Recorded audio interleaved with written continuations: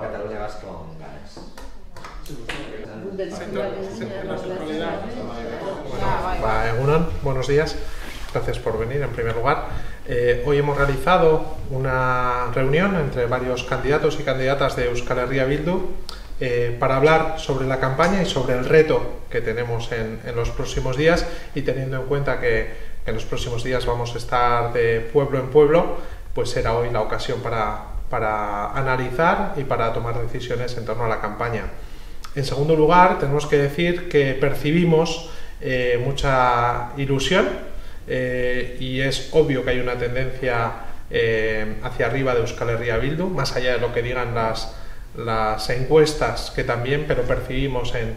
la calle esa ilusión y creemos que en los próximos días va a ir todavía más en aumento. Y tenemos por último un mensaje a, la sociedad vasca, que es decir que estamos convencidos y convencidas que el 28 de abril vamos a ser determinantes, vamos a ser más y vamos a ser más para frenar esos riesgos de, de las derechonas que existen en, en, Madrid, pero también para defender los derechos políticos, los derechos sociales y las libertades de toda la sociedad vasca y también de los y las catalanas, teniendo en cuenta ese importante acuerdo que hemos realizado con Esquerra Republicana para ser más determinantes. Eh, tenemos la ilusión, tenemos las ganas y estamos convencidas de que el 28 de abril obtendremos un magnífico resultado eh, porque tenemos para ganar eh, más democracia y más libertad para esta sociedad.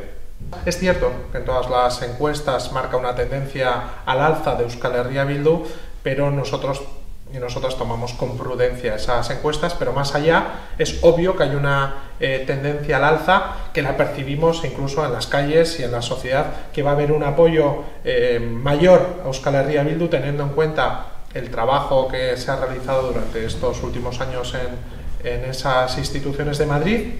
con dificultades para que llegara en muchas ocasiones teniendo en cuenta eh, cierta parte del boicot informativo que, tiene Euskal Herria Bildu en algunos medios del, Estado, pero que sí ha llegado y además, si a eso le sumamos que en estos momentos de eh, riesgos en, en el Estado por las derechonas y los riesgos recentralizadores, pues el acuerdo que se ha realizado, ese acuerdo de acción conjunta con Esquerra Republicana, eh, va a ser apoyado eh, por mayor eh, parte de, gente en estas elecciones y se percibe más esa ilusión y ese, y ese apoyo. Nosotros tenemos un mensaje muy claro, es si el PNV considera que Euskal Herria Bildu es su adversario político en Madrid, está muy equivocado.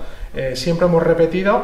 que en instituciones como Madrid deberíamos trabajar de manera conjunta defendiendo la, la, agenda vasca, que muchas veces hay un poco lío entre lo que es la agenda vasca, eh, si es una agenda de partidos, si es una agenda de sociedad. Desde nuestro punto de vista, la agenda vasca es aquella que se marca en el Parlamento de, Iruña y en el Parlamento de Gasteiz, y en defensa de ese mínimo común denominador, creemos que sería mucho más eh, lógico y de sentido común que acudiéramos de manera conjunta. Desconozco las razones de, del enfado y las acusaciones en algún caso fuera de lugar del Partido Nacionalista Vasco, pero ya digo, más allá de los proyectos diferentes que los tenemos y son obvios, eh, en Madrid deberíamos acudir de manera conjunta a defender ese mínimo común denominador que es la agenda vasca.